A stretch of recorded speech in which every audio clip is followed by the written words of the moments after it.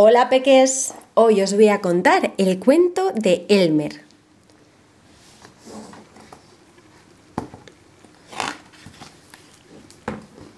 Había una vez una manada de elefantes. Había elefantes jóvenes y elefantes viejos, elefantes altos, gordos o delgados, elefantes así o asá, todos diferentes, pero todos felices y del mismo color. Todos excepto Elmer.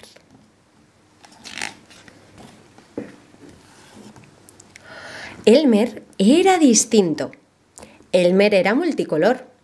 Elmer era amarillo y naranja y rojo y rosa y lila y azul y verde también y negro y blanco. Elmer no era de color elefante. Y era precisamente Elmer el que hacía reír a los demás elefantes. Unas veces Elmer les gastaba bromas y otras veces ellos se las gastaban a él. Elmer era el responsable de casi todas las sonrisas de sus compañeros de manada.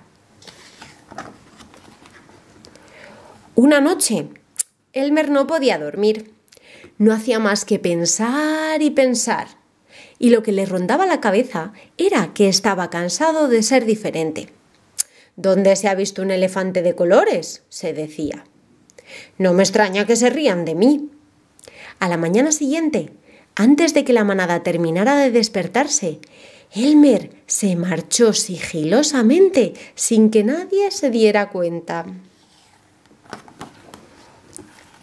Caminando por la selva, Elmer se cruzó con muchos animales. Todos le decían, Buenos días, Elmer.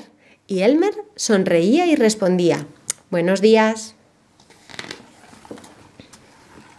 Después de una larga caminata, Elmer encontró lo que buscaba. Un gran arbusto. Un arbusto enorme repleto de bayas. Bayas de color elefante. Elmer cogió el arbusto con la trompa y lo sacudió una y otra vez para que las bayas se desprendieran de las ramas. Cuando el suelo estuvo cubierto de bayas, Elmer se tumbó y empezó a rodar una y otra vez, para un lado y para el otro, y vuelta a empezar, para un lado y para el otro.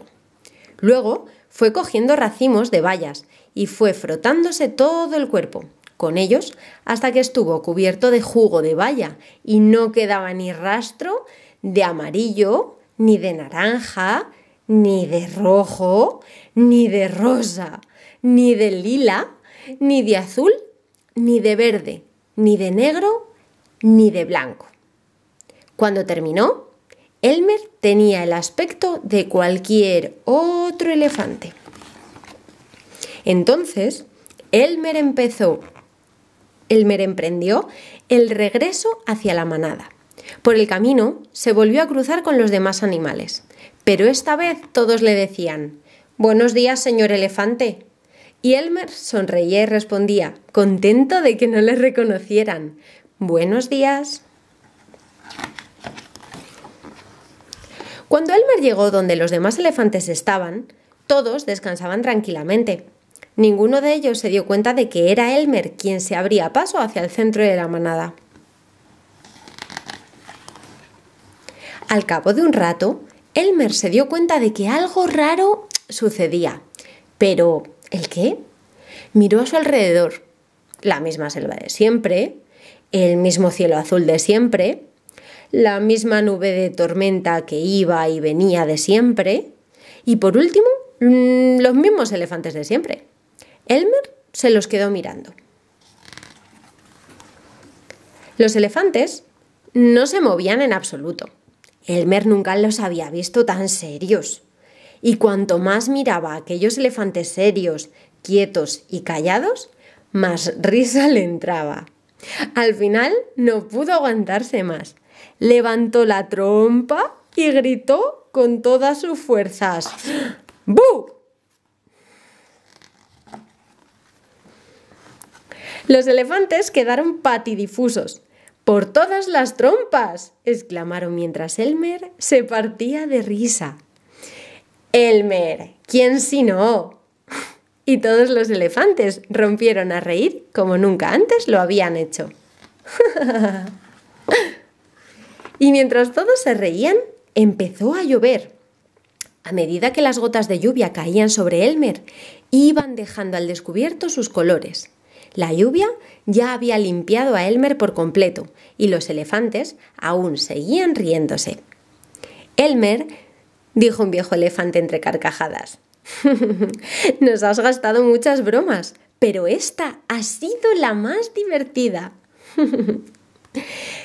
Tenemos que conmemorar este día todos los años, sugirió otro. Será el día de Elmer. Todos los elefantes se harán dibujos en la piel y Elmer se pintará de color elefante. Y eso es precisamente lo que hacen. Un día al año se pintan de colores y desfilan. Ese día, si por casualidad ves un elefante con la piel de color elefante, seguro que es Elmer. Y tan colorido, este cuento se ha acabado.